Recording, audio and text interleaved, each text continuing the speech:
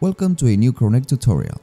In this video, we will break down the main difference and best use cases of using volumetric lights and volumetric fog and mist in your project, and what's the best fit for each according to your needs. The main differences between these two assets can be found in the workflow and the feature set that each asset support. Volumetric Fog and Mist 2 adds a customizable volume of fog into the scene that can be scaled to fit the environment either a room, a forest, or any part of the scene.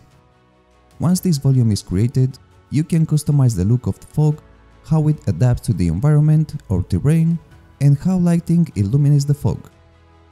This asset supports directional and point lights, and in URP also spotlights with real-time shadows.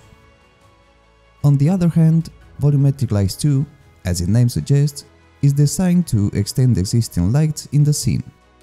You can pick a light and add the volumetric light script to it and it will add media density effects over the area lit by the light. Volumetric Lights 2 supports spotlights, point lights and area lights with real-time or baked shadows and also supports translucent shadow maps which cast mesmerizing colored god rays effects like the lighting that crosses stained glass windows. Let's have a look at the main AAA features each asset has, and at the end, we will understand how integrating all of them together is the perfect ingredient to have a beautiful scene. In Volumetric Lights 2, you can create four main types of shapes. Volumetric Rect Area Light, Volumetric Disk Area Light, Volumetric Spotlight, and Volumetric Point Light. Make this effect even prettier by activating Shadows Occlusion and transparency when going across colored materials, like colored glass windows. And to go even beyond, cast direct light over the surfaces and dust particles.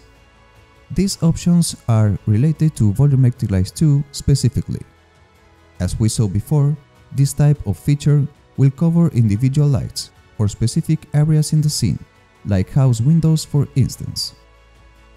Going back to Volumetric Fog and Mist, you can create unlimited volumes, each one with its own configuration for the fog effect, and with unlimited size.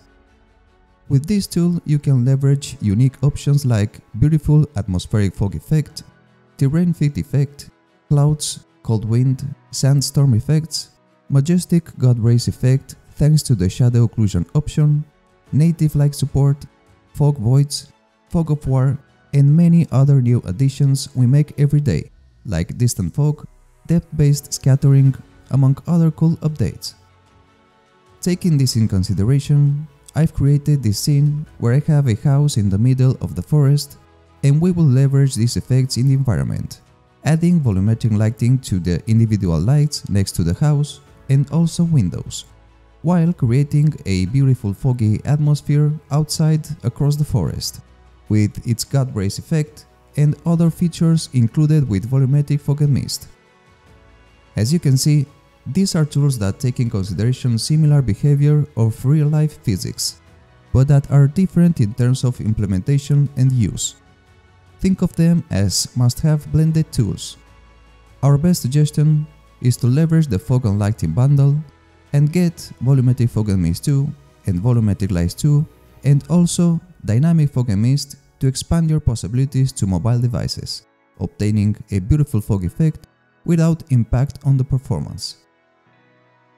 Thank you for watching this video and remember to follow our social media and subscribe to get notified of all of our new videos.